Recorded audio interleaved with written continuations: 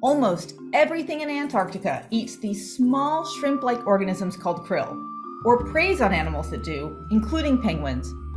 Penguins are important health indicators for Antarctica's ecosystem.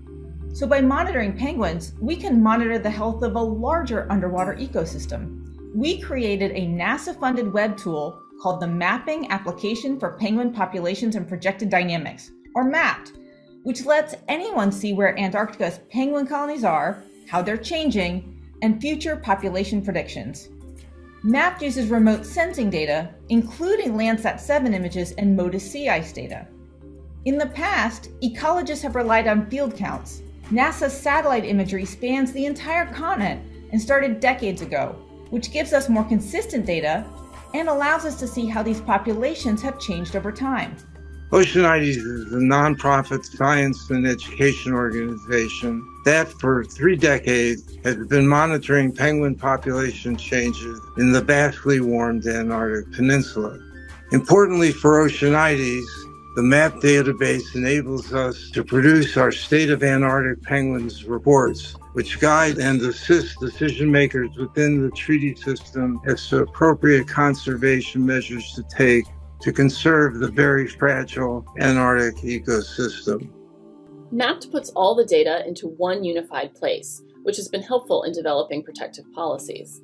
Instead of having to gather multiple data points across scattered resources, we now have a comprehensive resource for making well informed decisions.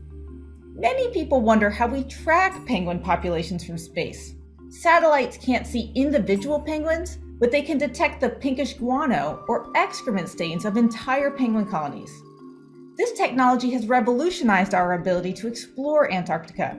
We've been able to uncover previously unknown penguin populations that are among the largest in Antarctica, and even get information about penguins changing diets based on the guano color. The Antarctic and Southern Ocean Coalition bases policy recommendations for Antarctic conservation on the best scientific information available. NASA's data has been instrumental in this. Previously, monitoring penguin populations was challenging, but with MAPPPD, we have a precise and publicly available tool that provides continent wide insights. MAPPPD is a hub for everyone.